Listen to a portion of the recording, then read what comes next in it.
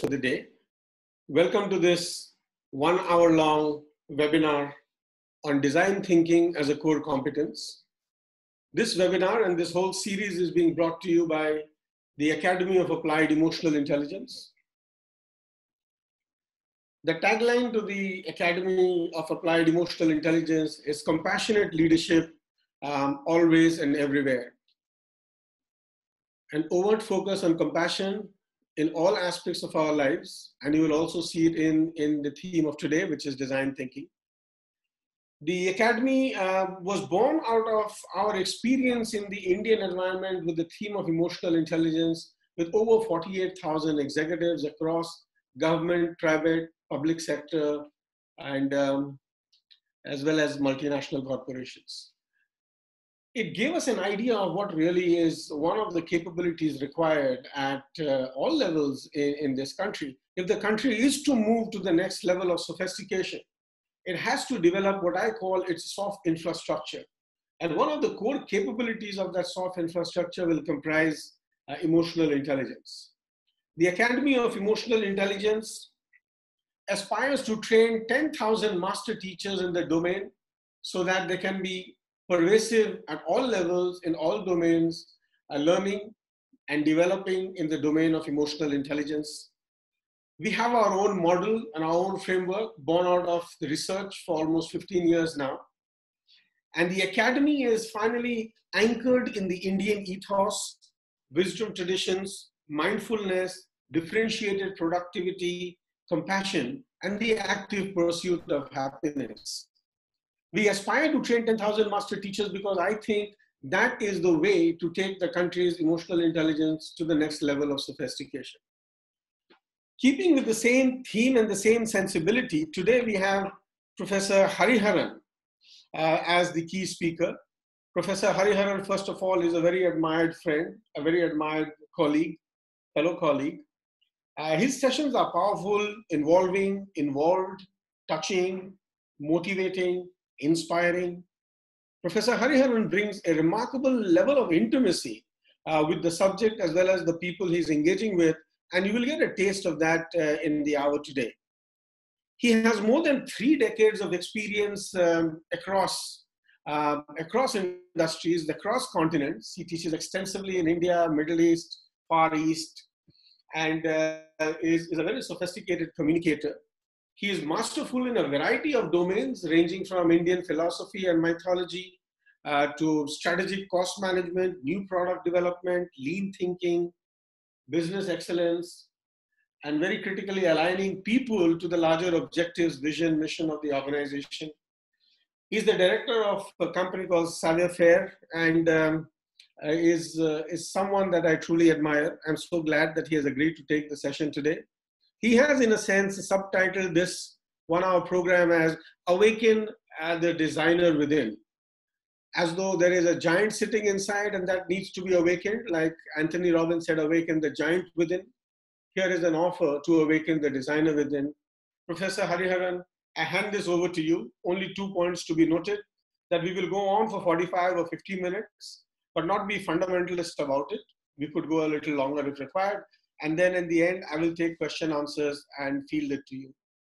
Everybody that needs to answer some questions, your questions can be posted in the, uh, posted in the question answer box. That's the one I will see directly and uh, we will field those at the end of the session. And if you have comments, you can put those observations, comments, any other thing that you want to say, you can put that in a chat. I have a team of people who are looking at the chat box and if there is something important and critical, we'll bring it up in live time. So thank you very much once again for joining us. And I hand over this to Professor Hariharan.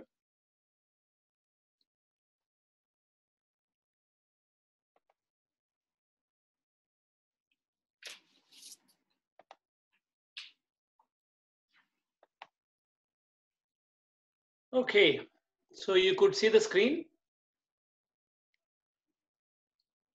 Yes. Okay, so I've set myself a timing for about uh, 50 minutes, 45 to 50 minutes. I set the timer on so that uh, I will definitely finish it by 50 minutes. This is the critical part.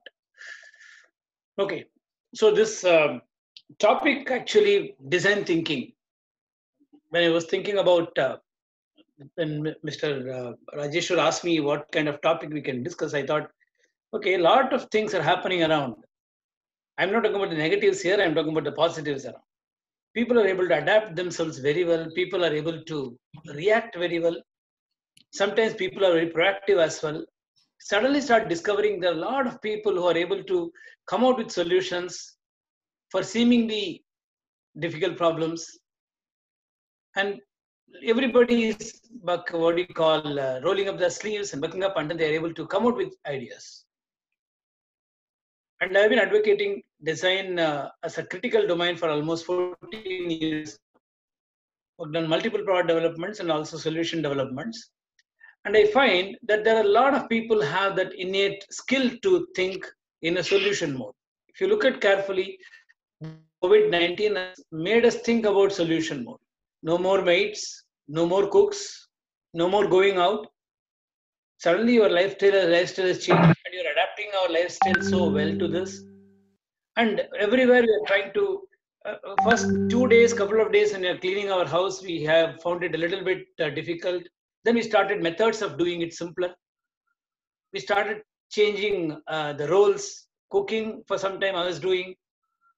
So my people have to suffer that and you have a lot of what you call changes happening and we are able to adapt it so well i'm not talking about when i say we i'm not talking about me i'm talking about in general many of us you see a lot of the communication you have with people including something like people adapting to webinars so easily so all these things essentially comes from a fundamental mindset of let me develop a solution for what i'm having currently as a challenge so that's a critical theme i'm taking most of us have this design thinking as a competence. Is it a core or not? We have to discover. Okay.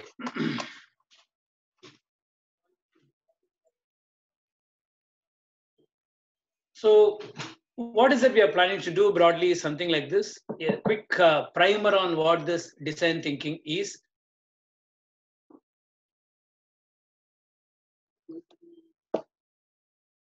you have to close the window please just a minute.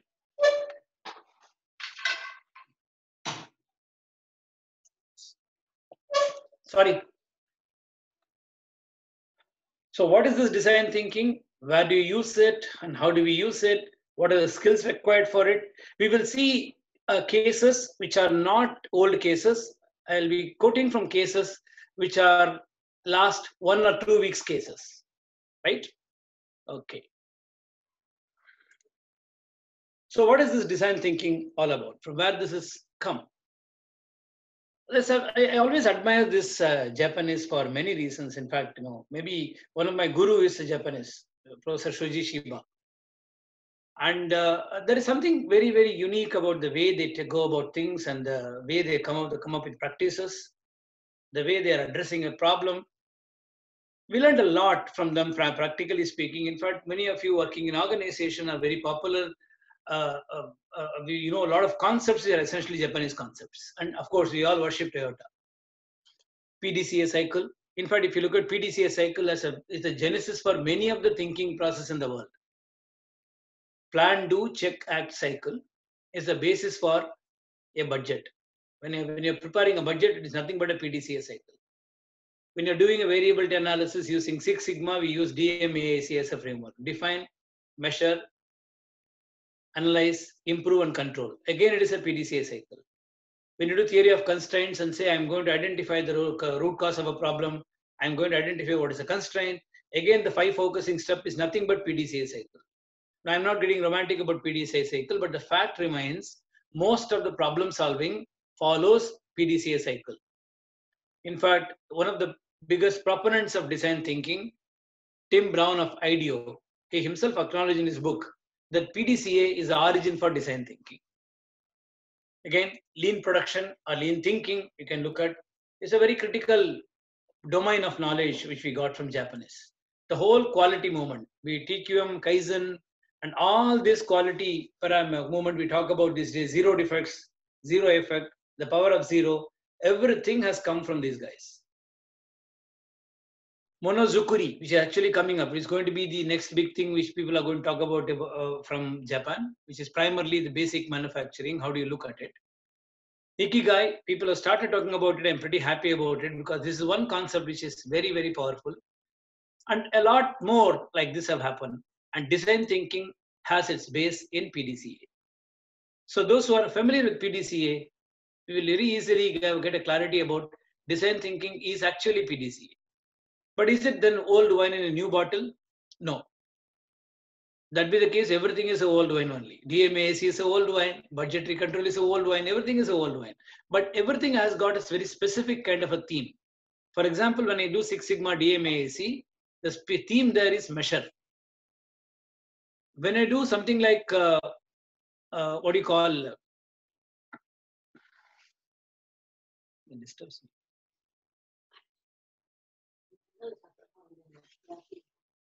When you when you do something like uh, uh, theory of constraints, the theme there is primarily, if you look at it, is primarily the constraint. If you look at budgetary control, the PDCA, there the central theme is primarily how do you plan your outlay of expenses. So everywhere the central theme will be slightly different, but the way we approach the particular solution is primarily PDCA cycle. Similarly, in design thinking, Though PDCA is the base for design thinking, the central theme is something else. We'll see that as we go further. So this gentleman is Tim Brown. Typically design thinking is thinking like a designer. What is so special about thinking like a designer? We'll see that. A designer can transform the way you develop products, services, and processes, and even strategy. So if you look at carefully, design is the base for anything. I'm not telling this because the program is design thinking more than 90% of what you're going to do is committed by the, by the time you design a product or a solution. You take the case of a product, more than 90% life cycle cost is committed by the time the design is complete. You take about a process, more than 90% of your life cycle cost of the process is committed by the time the design is complete. For that matter, any decision you take, you commit something. Decision, design is a commitment. You commit something, that's what a design is all about. So therefore, when you look at everywhere, everything you see around, you'll find this perspective of design. So what is the design thinking? A slightly formal definition. Innovation is powered by thorough understanding. First and foremost, there has to be an innovation. Innovation primarily for solving a problem profitably. So through understanding of what? By observing of what people want and need in their lives a direct observation. See, it is extremely difficult to come with a solution if you don't observe. In hmm. fact, in Japanese, it is called as Genchi Gembutsu. They call it as a Gemba. Gemba is primarily Gem space ba fact. The space where there is a fact is Gemba. Gemba is not necessarily manufacturing place. Gemba is a place where you're going to find the fact. So when you when you go and observe what is happening, then you come with solution. So a direct observation of what people want and need in their lives. What do? What they like or dislike about the way a particular product is made. For example, suppose you realize that this particular product is made in a condition which is not acceptable ethically, you may feel guilty of buying that product also. For example, many companies have started talking about a concept called responsible sourcing these days responsible sourcing typically means I am responsible for my supplier. I am responsible for the well-being of my supplier's resources as well. So when companies are placing orders, they are also talking about how well you are taking care of your employees, how well you are taking care of your society, how much of contribution you have made in that context. So way particular products are made are using child labor. So they are made, packaged. How a product is packaged makes a big difference. A simple classic example is primarily your um, Marico's uh, coconut oil cap. So that particular packaging is extremely important to ensure that I can't reuse that pack. Because one of the problem in coconut oil is if you reuse the particular container, it will start contaminating the coconut oil. So they ensured that you are not allowed to contaminate it by reusing it, the way it is packaged, the way it is marketed, how it is communicated about the product that is going to be a critical solution for a customer, how it is sold, in which channel it is being sold. We are comfortable buying certain things only by touching and feeling. We are comfortable buying certain things by net also. So, how is it being sold? And how is it being supported? Put it very simply, in short, rather understand what people do. Let us take a very simple example. This is a water bottle. All of us know this. So, what do I do with the water bottle? I drink water. What's a big deal? Wait. What is my engagement with this water bottle? My engagement with this water bottle is many. First of all, I have to open the bottle. Right? I'm opening it. Easy to open. At the same time, ensure it is not very loose. It should be easy to fill the water. It should be easy to close this. After closing, it should not leak. Then whenever I want, I want to I want to lug around the bottle like this. Whenever I want to open, I will open and I will drink. It should be easy to drink as well. Then close it. But look at carefully. There are certain bottles which has very, very narrow mouth. That bottle is easy to drink but difficult to fill. There are certain bottles which are broader, which are easy to fill, difficult to drink. So people came with a bottle where they have easy to drink with a smaller nozzle here and easy to fill with a bigger opening here. This comes essentially by empathizing with the user. When you understand what the user does, you can come with the solution. So design thinking is a solution base. How do you create solutions? How do you make the life of people comfortable? That's what it's all about. It is a discipline that uses designer sensibility and method. Sensibility, he should be sensible and sensitive to the user requirement. He should be comfortable about what he is seeing, meaning sympathy is different from empathy. Rajeshwar once told that, uh, that elaborately, he talks about that as uh, ultimately empathy is not simply feeling sad about it. Empathy should have three A's. You should be aware of what that challenge that person is facing. You should articulate what the challenge and you should take action on that challenge. Aware, articulate, and act are the three specific things are required for design thinking. A designer's sensibility and the methods he follows, he follows for giving a solution. To match the people's need, ultimately I should create something which my customer is willing to pay for. Like for example, quite some years back in I think in 1994, 95, Polar fans came with a phenomenal fan. They said the fan for kids. What is unique about this fan? The fan had a lot of what you call cartoon characters on the on the wings. With a lot of fanfare, they launched the fan, but the poor guys didn't realize that the basic purpose of the fan is to rotate. When the fan rotated, the figures blurred along with the marketing strategy. So none of the cartoon characters are visible on the fan. They are all standing below. Oh, there goes my strategy. So if you have to sell this product to my customer, I should tell my customer, customer buy this fan, but don't switch on. Keep the fan in the AC room, lie down and then look up, you can see the cartoon characters. Absolutely useless product when it comes to that. So when it doesn't match the people's needs, there are so many classic examples like this. Let me take another example. Take this pen. This is a marker pen. A marker pen is never going to be kept by anybody in a pocket like this. So then why do I have this cap? I'm having this cap, which is actually useless product, useless component for this pen. It serves only one purpose, that is to ensure that this particular pen does not roll off. If I keep it on a surface, it should not roll on. That's the only purpose it serves. I can as well use some small protrusion here. This is a component which does not meet people's need. So the point here is that you take any product, you will find this challenge. You take another product. I'm just randomly picking a product.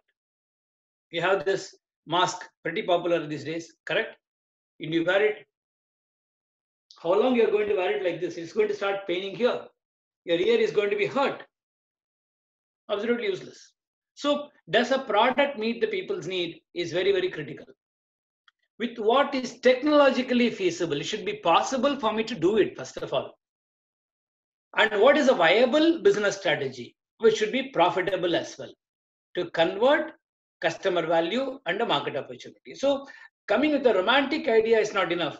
An idea which is implementable and an idea which is also profitable is critical for design thinking. So apparently it entails a great deal of perspiration, like Thomas Alva Edison always says. One person is inspiration, 99% perspiration. This slide is very interesting. I want you to notice the bottom part of the slide. From where I have taken this slide, have a look at it. Something very interesting. Design thinking, the guidebook, Royal Civil Service Commission, Bhutan. What Bhutan got to do with design thinking? That too, Royal Civil Service of Bhutan. As you may be aware, Bhutan is one of the countries which talks about gross happiness index. They are considered to be one of the happiest countries in the world. And they use design thinking extensively. Very, very simple. The first thing about design thinking is it should be human centric. How do I make the life comfortable? How do I make the life comfortable? Number two, it has to be collaborative team of teamwork. It cannot be done by a designer sitting in his ivory tower.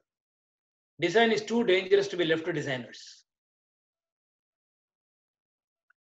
Learning by doing, karke dikao, is extremely important. You have to try it out, make it, and then work it. You look at it, this is applicable in any kind of a thing you're trying it out. Once you try it out by hand, it becomes easier for you to do it. You should embrace experimentation. Experimentation's fundamental principle is you should not be afraid to fail. Are we having the guts to fail? Is very crucial. Easier said than done. By qualification, I'm a chartered accountant. My consulting area is design, operations, and cost management. Have I moved away? No, I have moved towards. So the thing, biggest thrill someone has to get at whatever be the age or experience is, what is that new thing I learned today is an extremely important part of growing up. Like Rahul Dravid says, 30 matches you have played does not mean I got 30 match experience. It's a question of how much you learned from each match and how much you lost from each match. And what you learned out of that in each match is what your experience is all about. So that will come only when you embrace experimentation. We should understand patterns, relationships, and systems. For example, in the current context, everything is confusing, but you have to see some kind of a pattern emerging. You look at the last 23 days of your lockdown. Compared to the first three or four days of your housework, what we are doing. Some of you are working from home, we are also working at home these days. You started methods which has created you identify some kind of a pattern and then you created doing things. You started doing things in a particular way. That's typically you have to understand the patterns, relationships, and systems, and then you develop it. Okay. And finally, you have to visualize and then you have to look at it. That's very important for design thinking. You should be in a position to visualize what you are communicating. So I'm taking this framework from Tim Brown, Design Thinking. There are three broad steps in design thinking. The first level is explore, go and see. I have a very good friend of mine called Professor Muradian. Some of the participants may be knowing him also. Muradian always takes about Goya. Those of you who have attended his class or sessions will know what is Goya. Get off your, you know what. So don't sit on your rear. Please get off and then go out and observe what is happening, which is what he always says. That's what Genchi Gembutsu is all about. I have a guru called Shoji Shiba. Shiba always talks about jump into the fish bowl to understand what the fish is doing at a pixel level. So you have to go and see. Observation is fundamental for design thinking. Explore comes from observation and empathy. As I already quoted Rajeshwar, empathy is aware, articulate, and action. The second stage is create. Create many designs there is no one solution for the problem.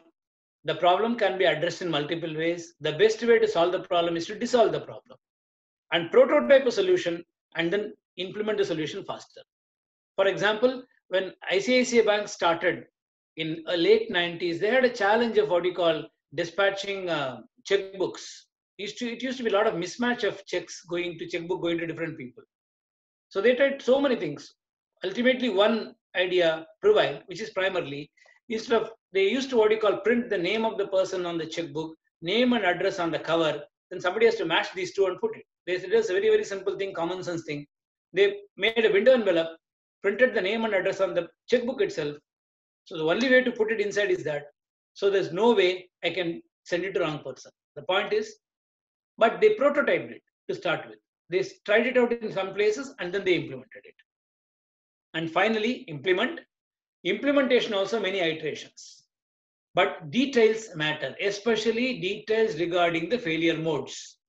Those who design background will definitely know about this failure mode effect analysis. The failure modes are very, very crucial for us to identify and then address. So these three are essentially called as immersion, ideation, and implementation. These are the three I's of design thinking. Immersion is what I word, word I use. Some people use the word inspiration. Immersion or inspiration, ideation, and implementation. We'll see some examples and then we'll go further. You remember this definitely? I'm sure many of you would have seen the movie many times also. DDLJ, Maratha Mandir.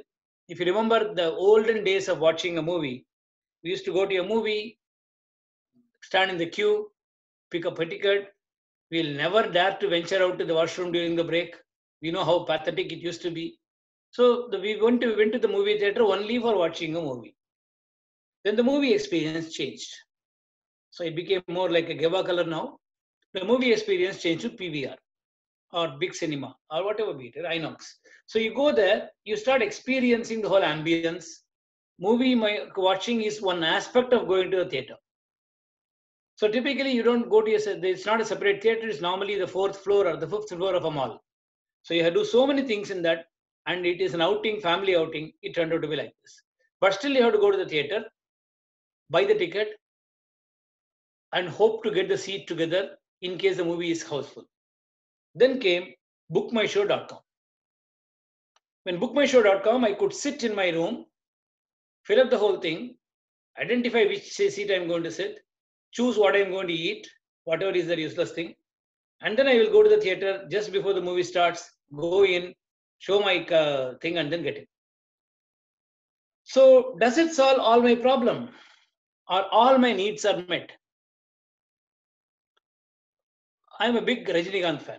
So for Rajinikanth movie, I should see uh, first day, first day, first shows ideally. But these days it doesn't happen. It's a different experience altogether. So I went to see one movie called Kaala. So I booked the ticket in Raghuleela Mall in Vashi. That's where I live. Booked the ticket. We went. I took my vehicle to my family, dropped the family at the gate, and then went to the parking space. I went by level by level, no parking available anywhere. Absolutely frustrated. I went back home. My home is about 15 minutes from the theater.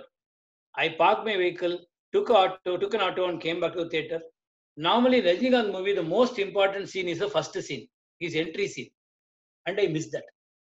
And I heard that's the only scene which is good in that movie also. I don't know about that anyway. So ultimately, what happened was my bookmyshow.com has not fulfilled my need. I'm not able to get my need fulfilled in bookmyshow.com because I ultimately missed Rajinikanth's entry scene.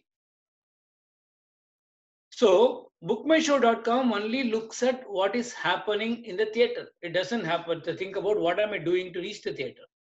Ultimately, what bookmyshow.com has done now is they have also added an option of Uber Connect where you can book an Uber. Uber will come and pick you up and drop you. Uber will pick you up and drop you back. Maybe Book My Show can go one step further. They can tie up with the parking space also. Only thing is, theater owner is different, parking space is different contractor. But it is possible to connect. So then they can start selling the parking space also. That means if you start looking at understanding what the customer does, the solutions are many. This is what I just figuratively made it here. I went with my family. The fellow came and stopped me, asked me to go to another level. I went there. One fellow came running and stopped me, sent me to another level. I went there. He slowly came and stopped me and asked me to get out. When I started, I was happy. When I moved there, I got a little bit worried because I'm going to miss the first scene. Then slowly, when I started moving further, I got absolutely saddened about it and absolutely I got annoyed also. So my customer experience is not only in the movie, my customer experience starts from the time I leave my home also meaning design thinking calls for understanding what the customer does.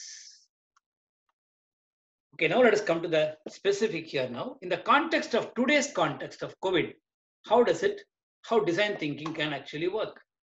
Let us look at it with some three specific perspectives. One is the problems faced by the health department and its workers.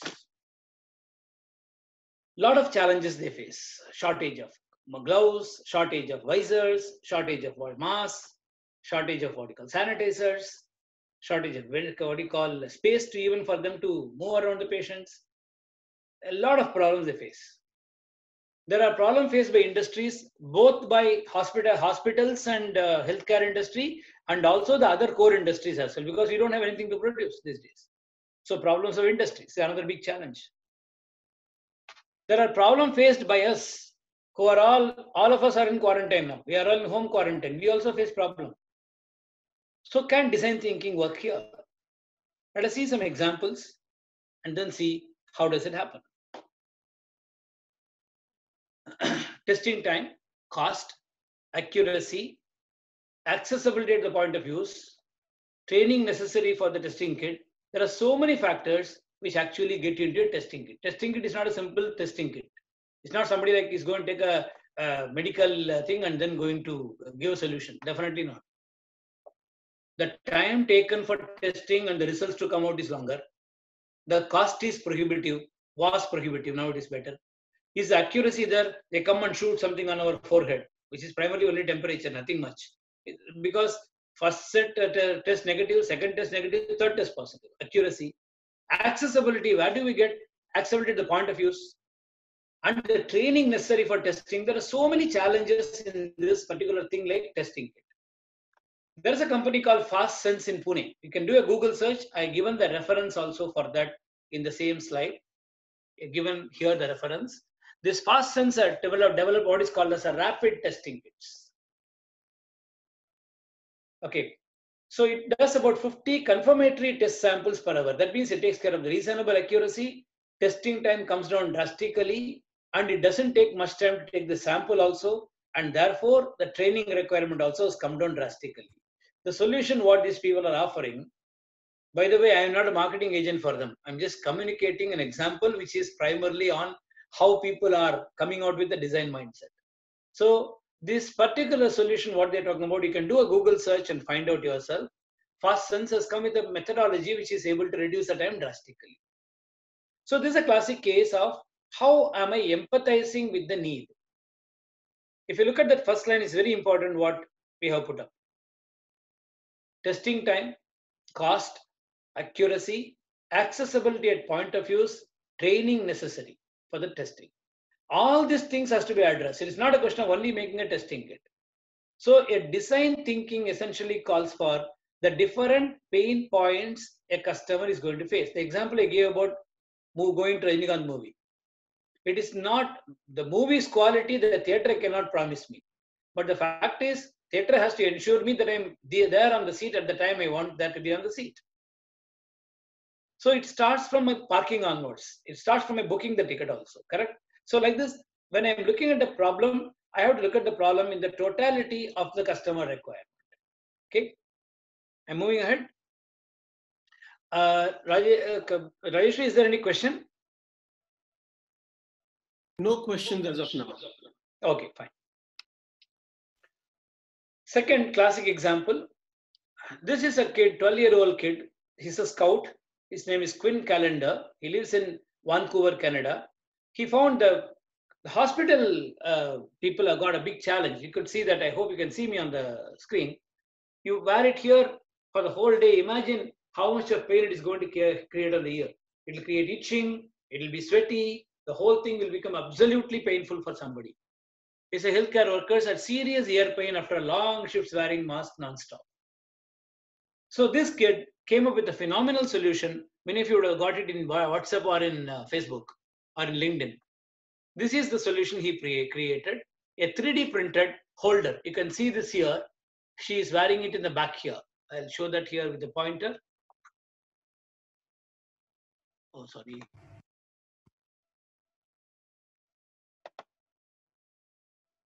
Yeah. See here, she's wearing a pointer here. You can see the pointer. She's wearing it here and she is tying it to this. So it her ear is always saved. It's not going to be hurting. Simple solution. And what this kid has done is phenomenally, he has given this particular 3D printing to anybody in the world to use also. There's also started circulating in WhatsApp and LinkedIn yesterday. So you can take the particular thing and then you can print your own thing like this for doing it. And he is making it and sending it. Again, look at the same principle of human centric here. Absolutely human centric. Understand the problem what that person is facing. It can come only from this kid's observation. So many years we have been wearing this, uh, what do you call mask, but nobody thought about this. Why nobody thought about it? Because the problem was not pronounced till now. Now everybody is wearing it. He might have seen his mother wearing it and suffering also. And therefore, this kid came with a solution to solve this problem. So it is not that you have to be technically highly qualified to do this you need to have that mindset that hey, this is a problem. I think I should find a solution for this. Okay. Shortage of essential components and medical equipment is another big challenge everybody is facing. There's a company called Brescia in Italy. He starts 3D printing essential valve parts by reverse engineering, but it has created a problem for them. IP rates issue has come up. They got somebody has slapped a, a case also on them now. But why I'm showing this still is, though legally what they have done is wrong, in a way ethically this seems to be okay. Because at this point of time, looking at the IP rates and all is not going to help. So they have come up with a 3D printing process to ensure that the components are available. Here, they have not created something new. Let's understand this very clearly. Your solutions need not be absolutely unique. Solutions can be already reinforcing what is already being done also okay but what they've done is the process if you go to the net and find out you will learn more about this if you're technically inclined to, towards this okay it's a different kind of a material they've used for making this. In fact the 3d printing community is doing a lot in this covid. You can go to there and find out.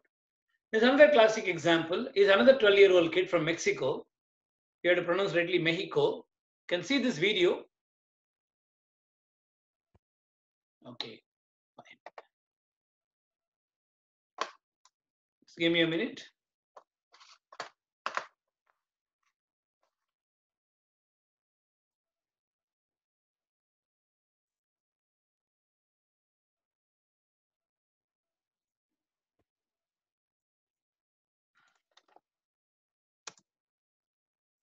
A 12-year-old boy in Mexico is doing his part in an effort to battle the coronavirus by making masks and visors from a 3D printer to give to medical professionals. Jorge Martinez, who lives in Oaxaca, is on lockdown from school, but is definitely putting his quarantine time to good use. He's so far made around 100 of the PPEs to supply to personnel on the front lines of the virus. This idea to make visors came about from the need for doctors to cover their faces, as this new virus, coronavirus, spreads through the eyes, nose, and mouth. The 3D 3D printing process takes about 45 minutes for each mask, and the visors are an easy clean according to Dr. Leva Hernandez. The visors are very useful for us. They're light, so they are helpful for use in cases in the hospital. They are being used over many hours. The visors are more practical and easier to use and clean. So far, there have been over 300 deaths and more than 4,000 coronavirus cases in Mexico. So it's a classic again example of how somebody with a mind to help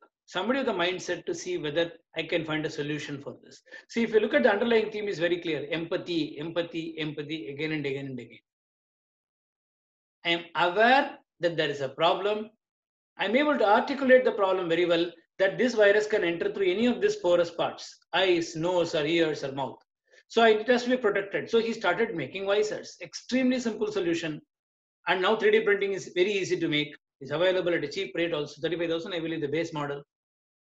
This is another interesting example.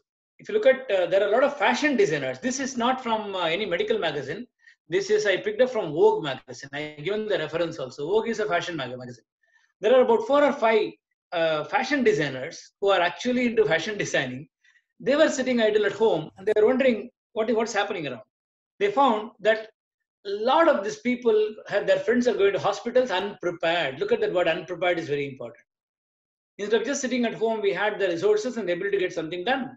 So they started making the same thing what this kid is doing. Now this is a very simple model.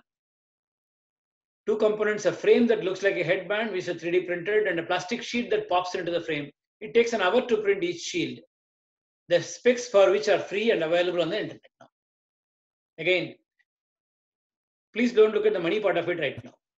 But the fact remains is these are all solutions which has been done by people in a matter of hours or days. It has not gone through a huge process of what you call testing and doing and everything. Test it on the field itself. Experimentation, embrace experimentation, collaborative effort. These are all the typical specific requirements of design thinking. Let's go on further. What's happening?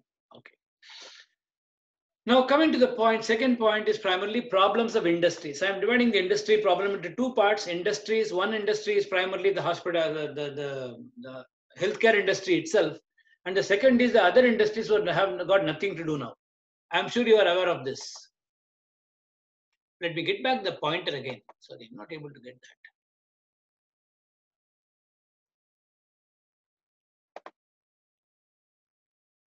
Just give me a second.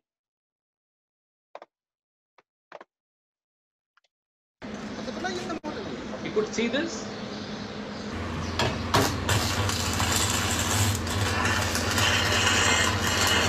What these people are doing is primarily they're converting the railway compartment into hospital beds.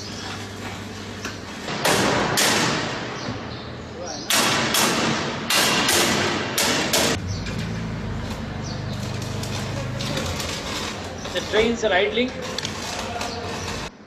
and the trains are being converted into hospital beds. This is not meant to be a hospital bed. Please be clear.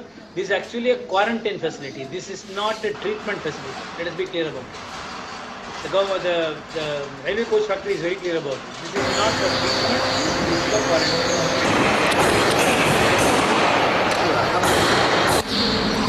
इसको double का घास देना ज़्यादा मोटा मत लगता नहीं Okay. This is typically adaptability of SFR to a situation. And this is a government organization, mind it. Ultimately, it looks something like this, being repurposed as hospital wards, which is extremely important. Again, I given the source, you can have a look at it. This is another classic example. This is from Mahindra and Mahindra. This is shared by my good friend Suhas Gokhale.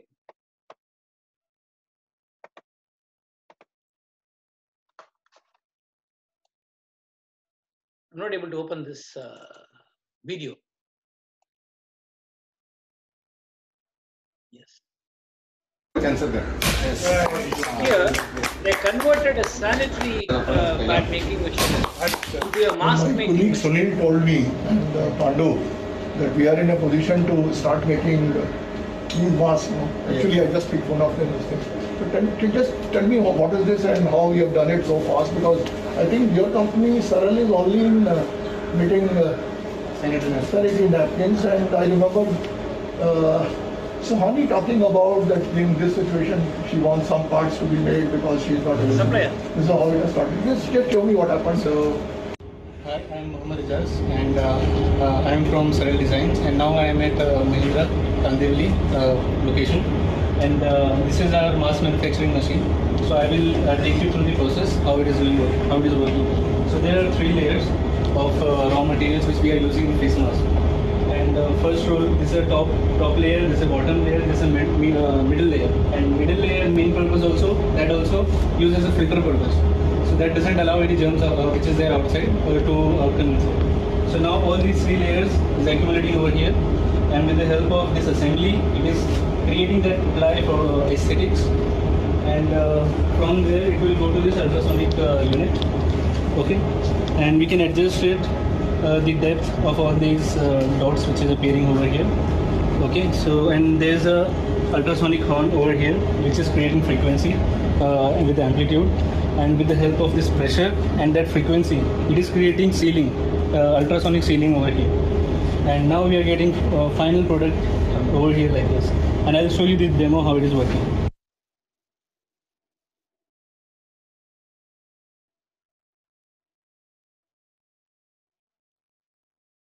This is our final product. This we can take it like this.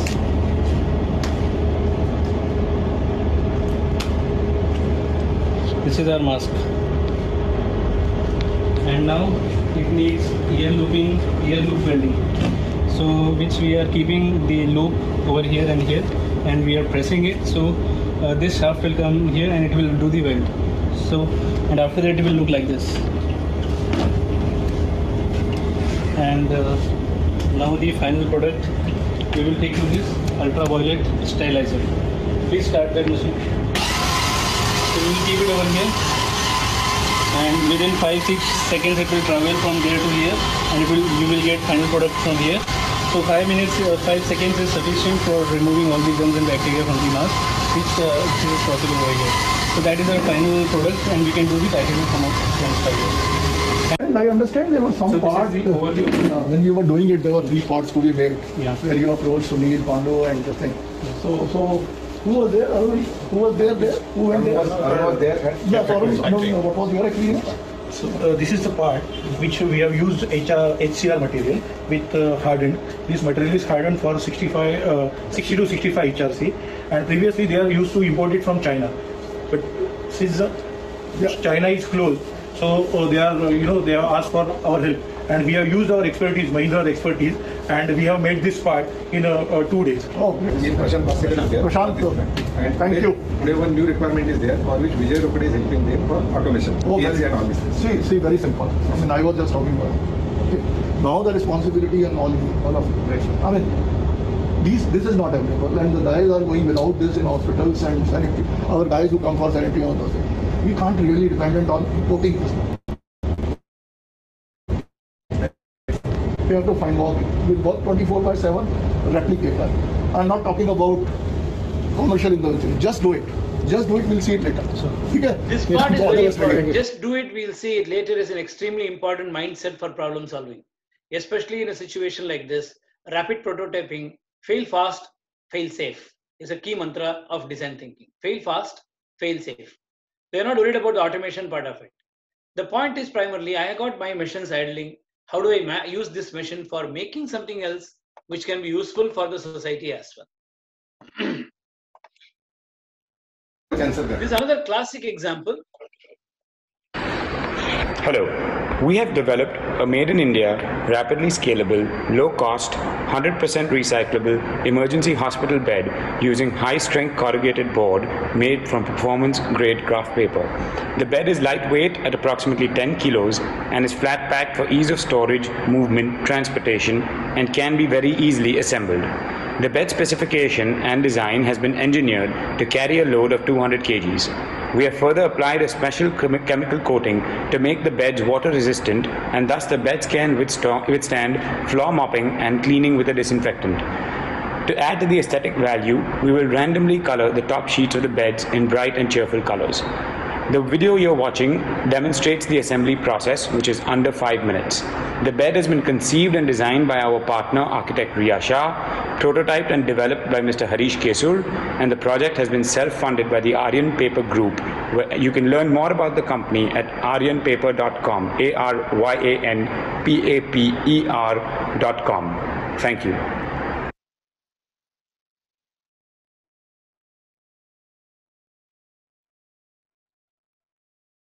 Again, this is a classic case of empathy. If you look at it, number one, what are the key challenges? What we have, uh, we we hope that number of patients don't increase beyond unmanageable levels. So when it goes to that level, we need definitely hospital beds. And the key points he's talking about here is that this can withstand 200 kgs. Fundamental requirement for a bed, definitely, because I'm going to put some bedding on top of it. On top of it, the patient is going to lie. Okay, number two, it is easy to wash it. I can wash it in the ground also because I need disinfectant proof. It's not going to affect this particular product. It's very, very important. Number three, very important. I can assemble it within five minutes. You, saw that the way they are assembling it also.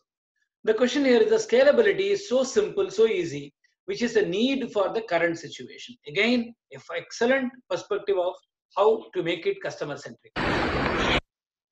Now we have a problem at home quarantine. The problem we have is fundamentally a lot of misinformation comes in. So what kind of solutions we can think for misinformation? How do I avoid misinformation? We can think of solutions for this. I'm not preferring any solution. I'm just opening up some questions for you to think through. trigger the designer within. How do I ensure the misinformation is not getting affected? It's not uh, actually spreading. Absence of a work-friendly environment at home. Absolutely. Suddenly you find I got a bit uh, annoyed because my son was crossing that place. Okay, it, it disturbs us. Am I correct? However much we change the background and everything is not going to help. There is going to be the work-friendly environment is not there. How do we manage to handle that? Lack of exercise and sunlight. We don't get sunlight at all these days, and we don't have uh, uh, what do you call uh, vitamin D at all. The only source for us is sun. If you're if you're a vegetarian, so there's no scope. So how do we do that? Now we do family, uh, what do you call, uh, walking in the, we do in the evening, inside the house. Sterilization of groceries and supplies. How do I sterilize? Shall I put Dettol on top of all these fruits and everything? Or shall we try uh, hot water? Shall I try what you call water sprinkled with, uh, with turmeric? There are so many imponderables what we have typically. There are solutions needed for all these problems is a classic example where somebody has made a, a handle without touching it. Uh, but it's not, in my opinion, it's not a great idea because in that portion, which is primarily here, your uh, hand portion also will be having uh, some kind of contamination. So this is not going to solve the problem to a great extent. Same is the case with the other one, the green one also, but the other one is pretty useful, using the feet to do this. And all these solutions are through 3D printing. Another not a, not a great solution in Saudi Arabia they found out for handling sanitizer. They is more like a clip, like a bracelet. You wear it in the hand. Without touching this, you can use this. You don't have to hold the bottle to open it, but still you have to use your hand to open it. Not a great idea, but fine. Somebody has tried it out. I given the source here for this. Let us take another example. Have a look at developed a mechanical device for operating the ambu bag. Ambu bag is currently being used by medical practitioners in case of emergency by operating a mechanical device for operating the ambu bag. Ambu bag is currently being used by medical practitioners in case of emergency by operating it manually. As the pressing is manually done, it cannot be sustained for longer duration and also in the current circumstances, distancing from the patient is very much necessary. So we have motorized the pressing operation with all the necessary controls. Let me explain you the key feature of this device. Let me start this device.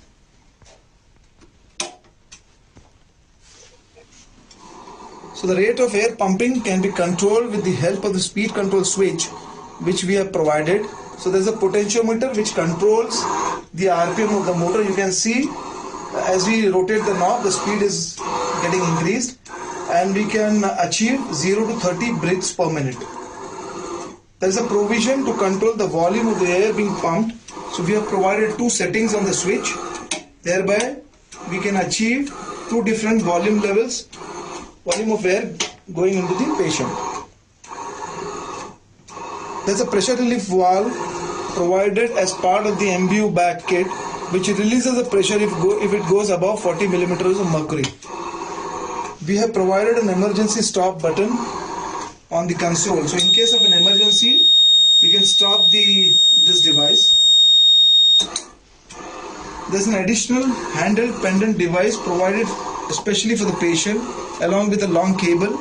So in case, of, and we have provided an emergency stop button on that pendant also. And also there's a doctor's call button for ease of the patient there's an inbuilt logic in this device.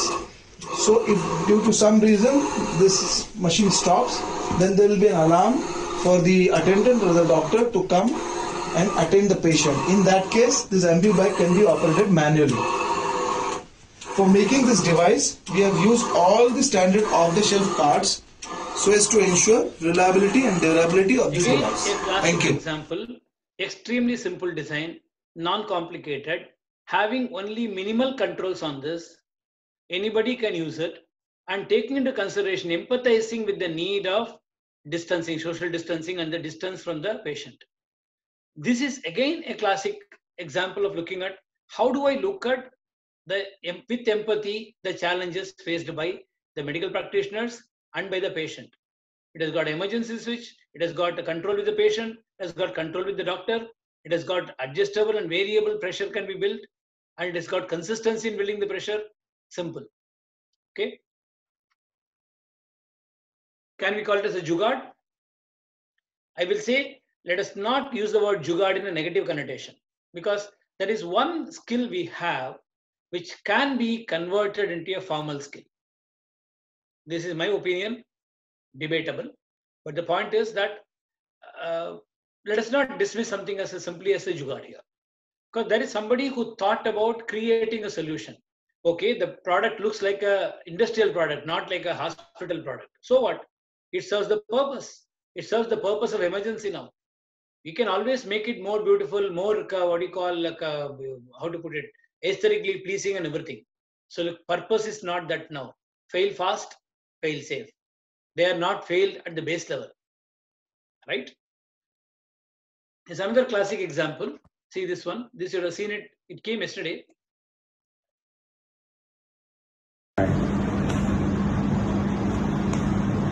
Maybe you got, but yes, again, it serves the purpose. This example is primarily is uh, this hand is my son's hand. This happened when he was, I think, in ninth or tenth standard. It happened. We were in seventh floor. So very often, what happens is in the seventh floor, parapet wall just outside our window sill. Whatever we dry the dry, when we are drying the cloth the cloth is to fall down. So every time being the youngster he has to get down and pick it up. Got annoyed? So he made something like this. So you can have a look at it. This is a rod. In the rod end of the rod he has got a uh, what do you call it's a simple clip. So how this whole thing works is something like this the clip is tied to a rope and the other end of the rope is tied to a wooden stick. And it goes through this. You pull it out and you put the clip in open position inside that. Then you put it down and then push that clip with that wooden rod, it immediately catches this.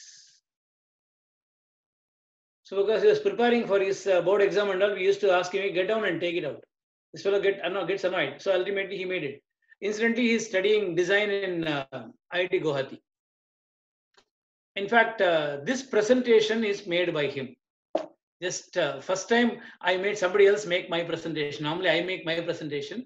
This whole presentation the theme, the sequence is created by him. I gave him the what I required, he made it and gave it to me.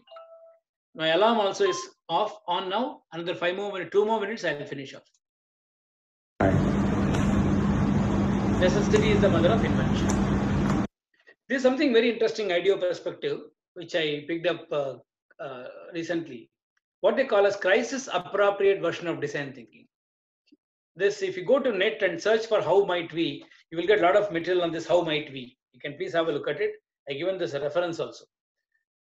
If you ask this question, how might we, this particular phrase triggers a few specific questions. Number one, it's an open-ended question. So divergent thinking is on the table. How might we help here?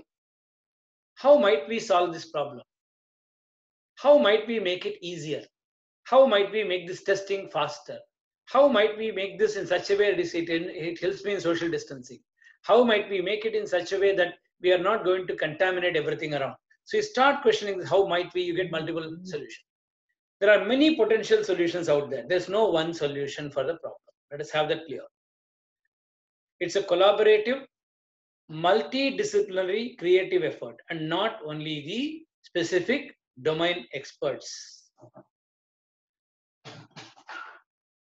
So you are a designer. Come in, come in. I'll just introduce my uh, the man who created this presentation. Also, you can say hi to them. He is Vishwa Prasanna, pursuing design from IIT Guwahati. Thank you. Yeah. So you are a designer with a design mindset, and we don't even realize it. So I'm just leaving with a few questions for you. Few th- things to think about activities that we automatically follow where we follow design thinking methodologies. For example, we are figuring out the video conference software for our meetings. We do prototyping and testing, so many things. In fact, uh, in the Zoom meeting, uh, when we were trying it out, uh, how do I get the noise of the video, voice of the video in the Zoom? Suddenly, suddenly we discovered there is an option there for this. We are integrating our household chores with our exercise regime also, empathizing and ideating. How do we make try to make it? And we have sent off our maid on a holiday without cutting her salary a week before lockdown. Correct? We have done that. Think about it more. What else you can do? So next few minutes, what I have, what I suggest is, I want you to keep typing whatever you think you can go back and attempt in your own place. With that, I'm completing my presentation. Rajeshwarji, over to you after this. Thank you so much. I exactly finished it on time, 50 minutes. Thank you, Professor Hariharan, for your presentation and the richness you bring in terms of contextualizing and live examples I'm sure it's a, a fascinating uh, journey just figuring out uh, examples from everyday life. And some of these uh, videos are a day old or two days old. Thank you for being so contemporary and contextually relevant. We have a few questions here, and yes. I will take them in the. Um, okay, here we have. Uh, so somebody called Srinivas Golakuti is asking, would you like to comment on TRIZ, T-R-I-Z, theory okay. of innovative problem solving? See, TRIZ theory, I don't exactly uh, remember the Russian uh, expansion theory, Russian wave, isometric, Zetek, something like this.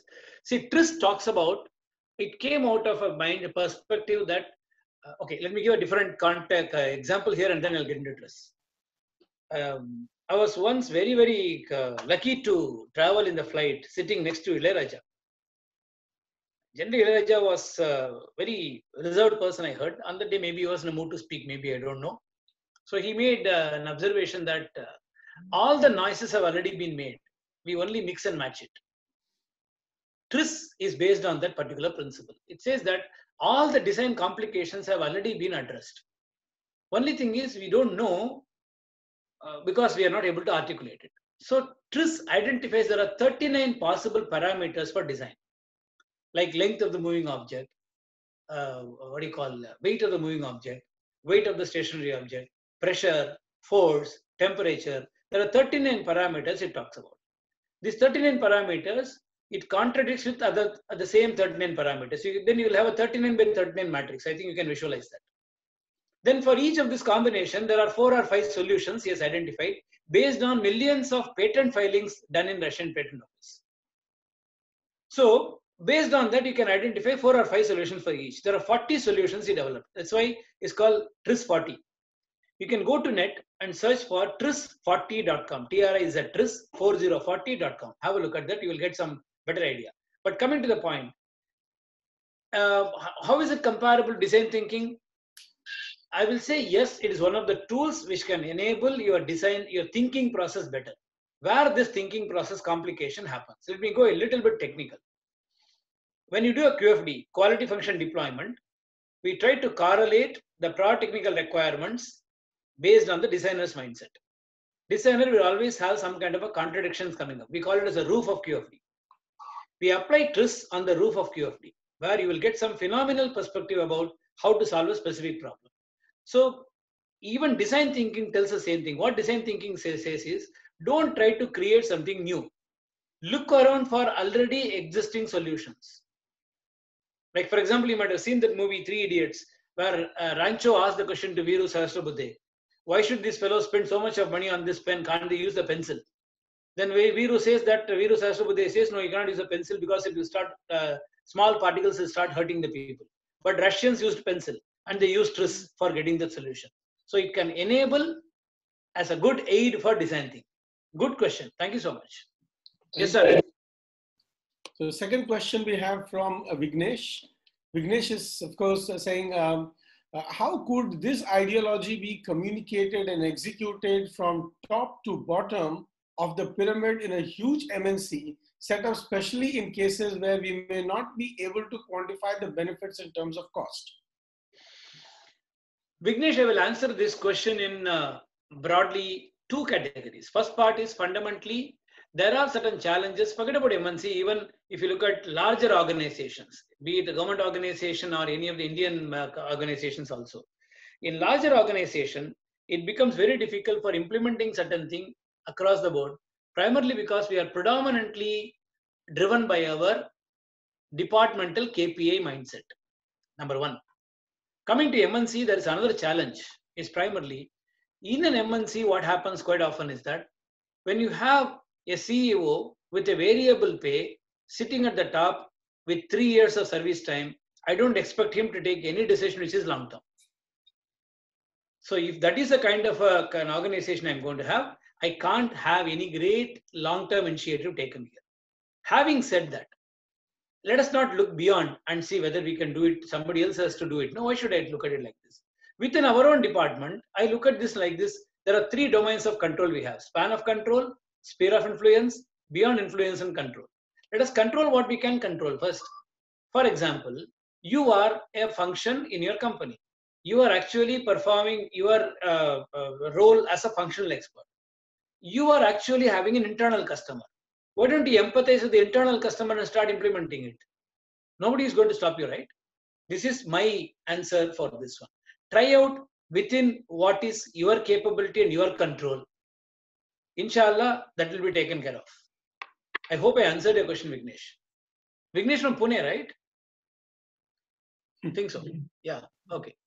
Yeah, Vignesh is the pan-India name, you know. I mean, yeah, yeah. I, I, I, remember a guy, Vignesh from Pune. Uh, he was my student. Okay. We have the next question here. Pragya is asking how exactly to train our minds uh, to observe problems and to find solutions to those problems. Think like a child. Be shameless in asking question. See, the reason till after 25 years in Mumbai, I'm not able to learn Marathi because I've been talking to people only in English or Hindi. एक बार मला माहित नहीं बोलेगा तो I think everybody will take responsibility teaching Marathi. I'm afraid because what somebody else will think. The point is that observation has to be, you have to train for observation. I fully understand what you see. You have to train your mind. That is possible only when you start taking interest in finding out, you know, uh, why this pattern is like this. Why are you having this kind of a structure? Simple, simple thing like, you know, this is a, uh, what do you call, uh, mic I'm using why is it having a shape like this? You start thinking about it. It'll, you will give so many answers. Why somebody should have a product like this? You take this case itself. Take this one. Why somebody should have like this? Why not you have it something like uh, what it used to be earlier? Like this. Because people found it, hey boss, I want to even transfer data, therefore I went for this. So the question here is that most often like what I said sometime, like necessity is the mother of invention. You start observing, look around what is happening. Be aware always. It is very, very important. Be aware. The first A in empathy is aware. Only when we are aware, we can think about articulating an action. That is very crucial. We have to essentially be aware always. So that's the first part. Then uh, once you define the problem, solution presents itself. That's the way I look at it. Yeah. Yes, sir. Another question. Another question here is, I, I appreciate these examples. Only one question. Are these Indian Jugaad or Indian innovation and design thinking? That's why I said don't underestimate Jugaad. Some or other, you know, uh, certain words uh, uh, get a, a malified uh, connotation or demeaning connotation also. Jugaad is slowly becoming a word like that. Definitely it is it, it, it talks about our ingenuity. But having said that an ingenuity cannot be a one-off solution. Let us be clear. A solution has to be a sustainable solution. Sustainable i'm not talking about sustainable only in the context of the sustainability of uh, triple bottom line people planet and all i'm talking about a, a, a solution which is going to be scaled up a solution which is easy to implement that is where it crosses from jugaad to innovation a temporary solution is what, what I'm talking about. Let me explain what I mean by that. For example, you go to a shop floor. You go to a shop floor, suppose if the company is making, let us say, for example, uh, polymer, polymer fibers, you will find invariably everywhere you go, they will use the same polymer fiber to tie, or tie things. And they call it as a jugaad. That's not jugaad. That is compromising safety. in the if you want to really qualify it, let us graduate Jugaad to sustainable innovation. Okay. It is common sense. Ultimately, it is common sense. Let me be very clear about it. Whatever I discuss is common sense. But as a CEO, can I call everybody in the company and say, come on, guys, let us apply common sense and improve profit? I need a vehicle. And the vehicle depends upon what is the specific challenge I have to address. For example, if variability in my company is extremely high, I will take Six Sigma as a tool. If I want to be more customer centric, if, if, if I'm missing this, I will take design thinking as a tool. If hammer is the only tool I have, I will look at every problem as a nail. That's what Maslow said. I can't look at everything as a solution. I got a solution, therefore I'll find a problem for this. No, let us not take design thinking like this. Let us not take anything like that. It purely depends upon what is the challenge you are facing. You come with a solution. Design thinking base is that. I hope I answered the question. Thank you, um, Mr. Hariharan. One last question um, before we conclude, and asked by Suresh Nair. He's saying, how can this concept, I presume, of design thinking be used to motivate and improve productivity in the HR context? Lovely, lovely. okay, see, typically motivate and improve productivity from the HR context. See, ultimately, let us understand one thing. Um, as an individual, we always want to improve. Uh, I don't know how many participants we have. How many participants we have, sir? Uh, just now we have about 82 remaining. There were about 137 at. Uh, 137. I am 100% sure all 137 will raise their hand. We want to improve. All of us have innate need, innate wish to improve. But what happens in organizational context is, as soon as somebody enters the organization, we start getting into what we are supposed to be calling as a routine. We keep on doing the routine again and again and again. One of the major job of anybody working in the organization has to be improvement, including the people at the ground level to the top level. So how do I motivate people to improve? Is ultimately an improvement mindset. I the way we have to improve the people is a different context and different topic by itself called TEI, total employee involvement. TEI is what we talk about. How do I embed? I make one statement. I will cover a little bit of this in War on Waste next week. How do I embed improvement in my day-to-day work? How do I embed? I'm using the word embed. How do I embed improvement in my day-to-day work? How do I embed improvement in my daily routine? The solution lies there for making the people productive. Okay. So um, has, has, a curiosity asking, war on waste, what will this session be based on? So if in a. Oh, okay. War on waste is primarily anything that doesn't add value to customer is a waste. So when you say it's a war, a war has to have a strategy. I can say again using the same perspective, hey, use common sense and go and attack waste. No, that's not going to work. So we will be classifying what a waste is. How do I divide waste into categories? What kind of tools and methodologies we can use to attack this waste? And how do I make it sustainable? That's what we are going to discuss. Thank you. Thank you, Professor Hariharan, for your wonderful session and equally wonderful uh, responses to the questions. We uh, hope to see you again. Not hope to, we certainly will see you again on the topic of war on waste. And uh, for everybody's benefit, I'm going to show you a teaser that my team has made. And, and this has to do in the context of uh, what. I will uh, stop sharing, sir. You yes. can remove me. Yeah, okay. Yes. Great.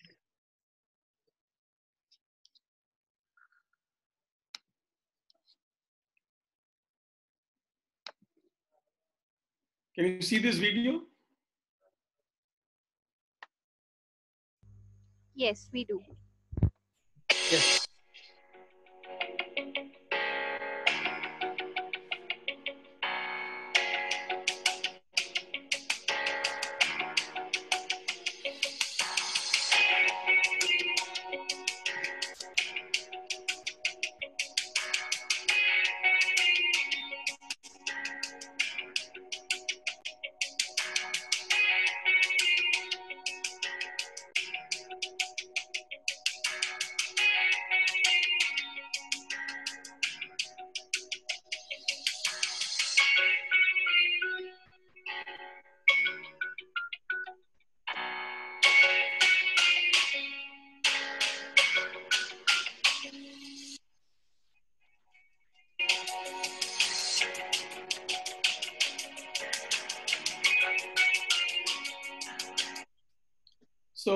Of these speakers are very outstanding and exceptional people in their own right. They are uh, exceptional in the domain, they are experts. All of them, Dr. Sujay Banerjee, Sanjay Mitra, and we have Prasad Kaipa right in the end, uh, who's, who's, professor at ISB and, and basically a mathematician, a physicist, and a philosopher. Uh, a pleasure to listen to him as well. So invite everybody to all of the uh, webinars that we have uh, uh, in store for you uh, 4 to 5 every day, except Professor Prasad Kaipa's session will be at 9 a.m. in the morning because he's based out of Campbell in California. Uh, thank you, everybody, and thank you, Professor Hariharan, uh, for this wonderful uh, hour that we spent. I wish you all the very best and um, do enjoy the rest of the evening. Thank you and good night. Thank you.